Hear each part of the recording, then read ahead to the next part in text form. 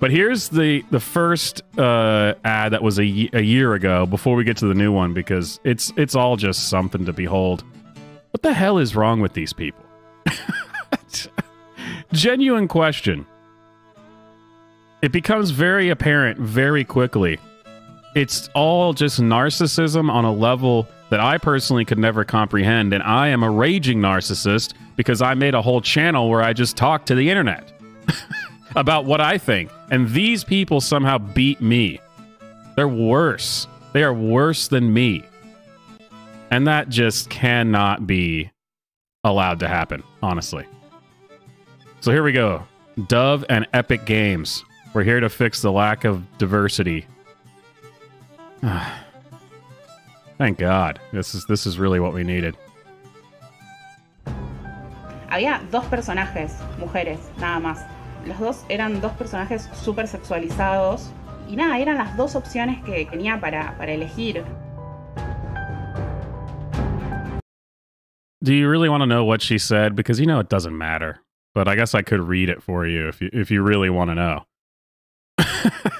she said there were only two female characters. And what else? What other dumb thing did she say? Both over sexualized.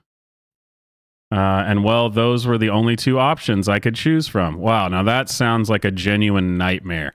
Don't let the women know who live in third world nations the absolute pain that comes with being an obese woman in the first world. it's just, it's too much. It is too much to bear. I only had two options and they were both aesthetically pleasing. Good Lord. uh, two out of three female gamers in the UK say there is a lack of representation in video games. Well, two out of three uh, female gamers in the UK would be wrong about everything, ever, all the time, 100% of the time. You were not there. You don't exist. The things are not made for you.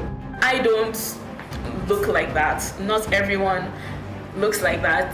We should really show everybody that who we really are as people and we should all yeah, like have a chance. At Dove, we want to change that. that. looks like me in a video game and be like, yo, this baby's fire. This baby is fire, you guys. Of skins available this baby's fire. From. But finally, one that looks like mine. Oh, I look so badass. See, I, mean, it's it's ridiculous. I first of all, you remember there was actually a time when video games, the fact that it it wasn't you was like you know the draw of the game. whatever's going on in your life, you could go play a video game and escape to a different world. And now, wow, I look badass. This is all about me. Ah, go yourself. I'm so tired of this crap. it's just, shut the hell up and just go away. I'm tired of even trying to come up with witty retorts to this at this point. These people. Oh, we created avatars inspired by real women to show how representation in games would look like. And I just got to say, why would someone with a disability, like the woman in the wheelchair, why why would she want to be limited to a wheelchair in a in a in a virtual world where she doesn't need to be limited to a wheelchair?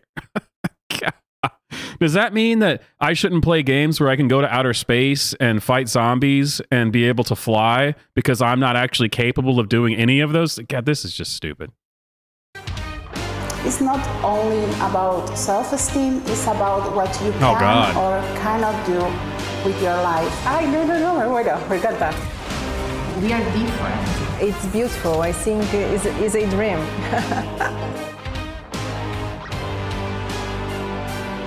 Is there anything more powerful than being a legend? Yes.